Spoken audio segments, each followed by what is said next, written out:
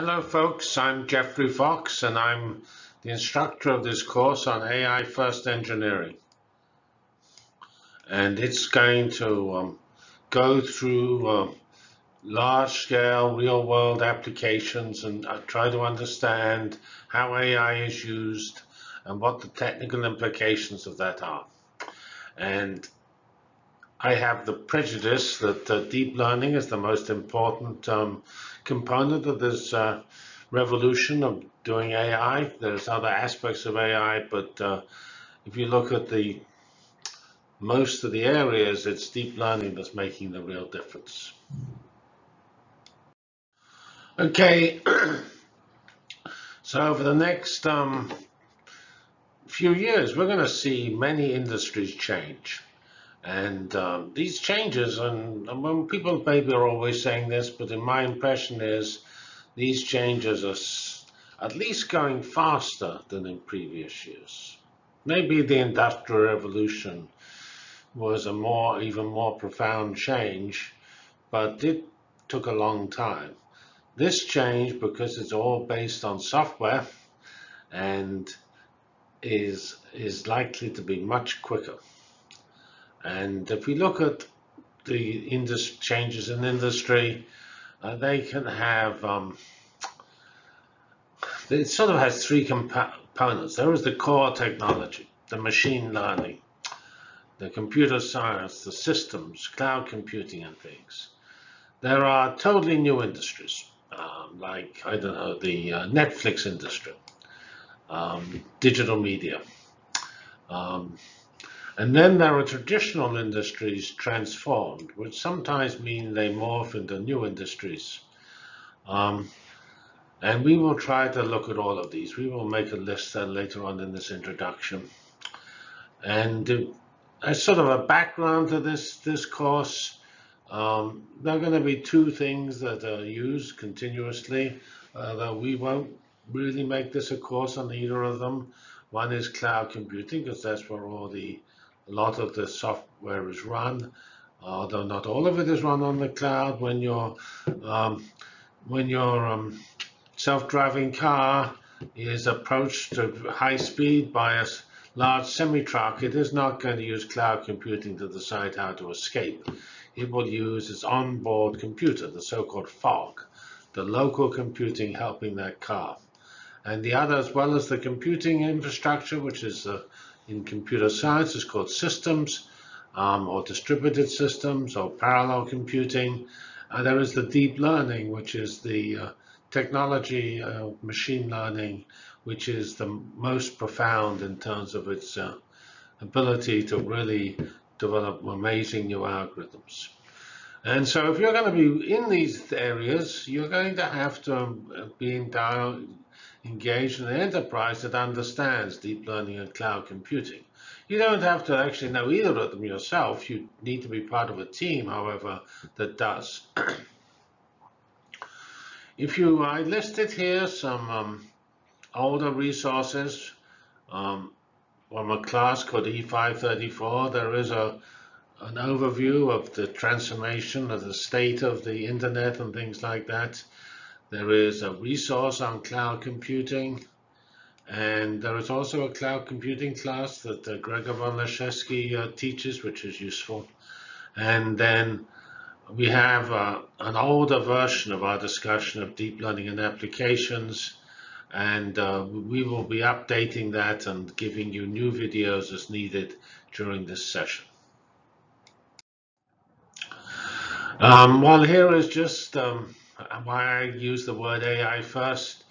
Uh, this actually was an old um, compilation I did in 2017, almost now a couple of years ago, um, where over a couple of years ago actually, where it basically highlighted the fact that companies were reorienting themselves around AI. And um, here, these are just web page headlines. Notice that not only companies like Google, on Facebook and Twitter and Apple are uh, doing AI. Um, the hardware people like Intel, because Intel has to sell its hardware to drive AI. So for there are all companies in this area uh, need to understand AI. And uh, one way uh, we will notice that um, transformation happens is you don't transform yourself inside, you transform yourself by buying a startup. But Google, for instance, brought DeepMind. It also had a, had a lot of good people internally. These are the actual headlines. Google, Facebook, and Microsoft remaking themselves around AI. Uh, Google, the full stack AI company. Bezos, the head of Amazon, says AI to fuel Amazon's success. Uh, the Microsoft says that AI is the ultimate breakthrough. Tesla says that AI will help its cars teach themselves. Netflix is, uses AI to do its recommender engines to tell you what to watch, and it is that also the AI can optimize the delivery of the streaming of the um, of the movies by doing the optimizing the networking. And here we have not AI first, but machine learning first, which is essentially the same idea. And here's General Electric, which is a company that has to be transformed. It says it has a significant emphasis on software and machine learning in its current manifestation. Um, so here is some of the, um, I, I, I get these three, uh, three um, areas. So here's the first area, core technologies. Um, so we have big data, cloud computing, and the software engineering there are edge computing, the fact that we're now building lots of devices. Those devices take the data, uh, like Amazon Alexa is an edge computing device. It currently uses the cloud to interpret your voice, but it will eventually or actually quite soon, do most of that itself.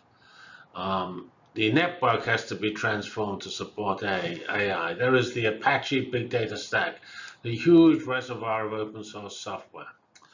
There is the uh, pictures of Amazon using robots to to man, to, to uh, um, run its uh, one-day delivery warehouses.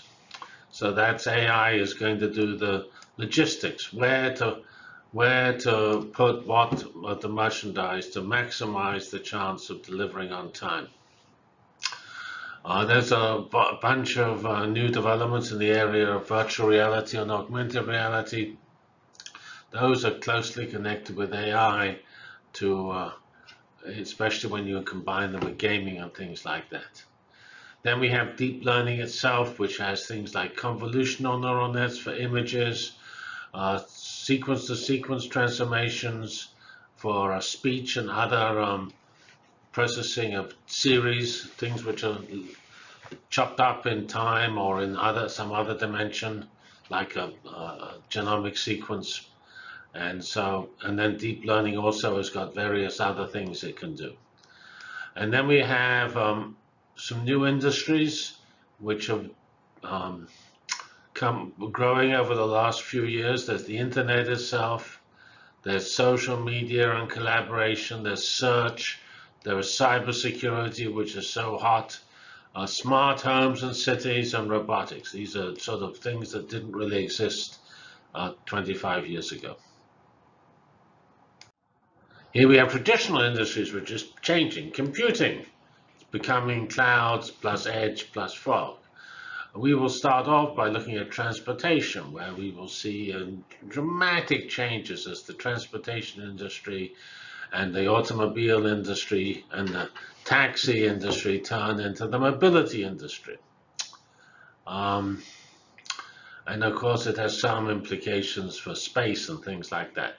We have e-commerce, the tremendous success of Amazon and Alibaba and related stores manufacturing, where we have um, smart machines, we have a growing use of digital twins to simulate what you manufacture and understand from the computer model what's what to expect. Agriculture and food have a substantial involvement with AI you have drones flying over, discovering where your crops are growing or not growing. And um, we have um, websites like Expedia and or concepts like Airbnb, which are revolutionizing the travel and hospitality industry. There's there are lots of technology to optimize the buying of homes, and of course, room hailing is Airbnb. Then we have Bitcoin, um, real-time stock market things, insurance support, trying to find you the best, and trying to find the premium which are appropriate for a particular insurance. So banking and financial technology has tens of billions of dollars are going into it to try to revolutionize that industry, which is both digitized. Sometimes there is in this AI first a mix of both basic digitization and AI exploiting the digitization. And of course, the digitization, if when I taught a course on big data starting in 2013 or 2012, that focused on the digitization. It had, we did do AI even then, but not, it was not as dramatic as it is now. Health is very important, although it's actually the field which has probably made the least progress, even though it's possibly the most important. I think it's because it's so hard to get the data and they're so wrapped up in, in privacy issues. So we have one area which has made huge uh, strides is pathology, interpreting of cancer images and related images, and their deep learning has had huge impact. Uh, we have personalized health, including genomics, uh, where again, it's more traditional machine learning is currently uh, most important. And then we have things like remote surgery and also actually um, related to remote surgery, just telehealth, um, health at a distance, particularly important in some application areas like rural areas. We have the area of surveillance and monitoring, which includes military applications, civilian disaster response. I put here just, um, I noted a, a, recent review of the military situation. Um, energy, Energy is transforming as we try to uh, strive for a greener future with solar, wind, and oil. Science itself, research. We, science has always been based on data, and that data now can be better analyzed with deep learning and other machine learning capabilities. Sports. Well, we know we there's this field called sabermetrics, which is the baseball study of baseball statistics.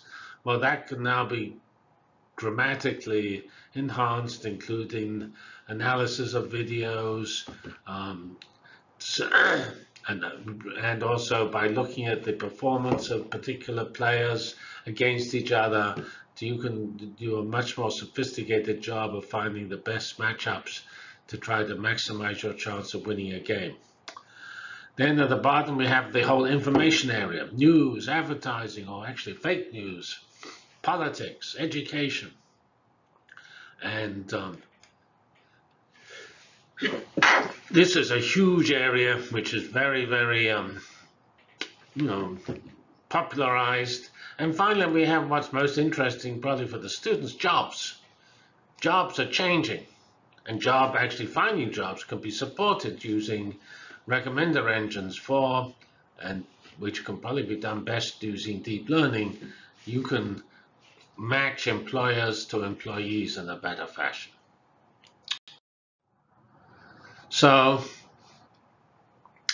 at the moment, technology is unusually important in the in the new revolution, and um,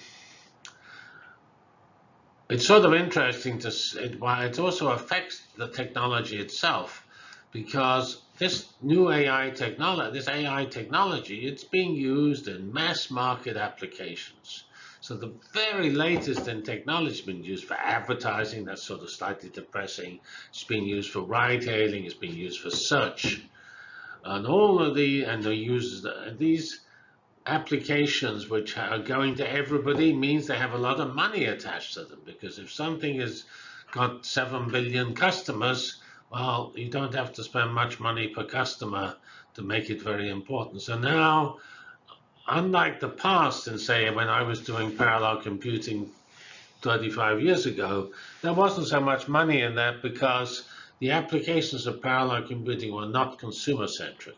They were industry-centric, like uh, say General Motors in those days was using parallel computing to help simulate its cars, the early versions of digital twins. But now this AI is right at the front line. Every time you call your Uber driver, AI kicks in to optimize the mapping between you and the and the possible drivers. And um, so that's what it says here. And this means there's huge investment in core technology. Plus, you have to put that investment in because the best service requires the best AI, and that the people, the customer, the companies that deliver the best service are the ones that will actually get the most customers and therefore make the most money. And in some sense, these are fights to the death because if somebody just opts out and says, "Well, we've done enough and there's AI trash, let's let's go and spend our money on something more useful," uh, they will unfortunately go out of business. And now for the final slide, um, which sort of summarizes the course. Depending on the students, uh, we will vary the amount and the depth of the artificial intelligence. When we want to do computing, we'll use the, uh, a, a, cloud, which is called the Google Colab.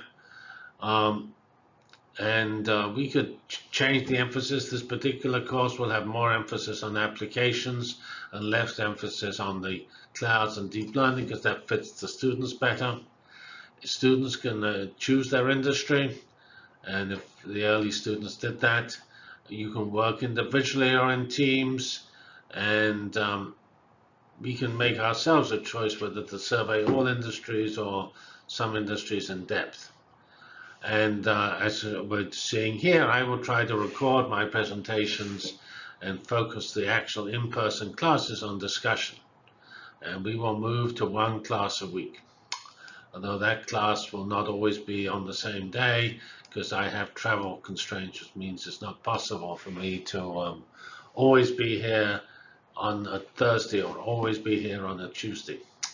All right, so let's get going. AI first engineering. This will change your life. Thank you.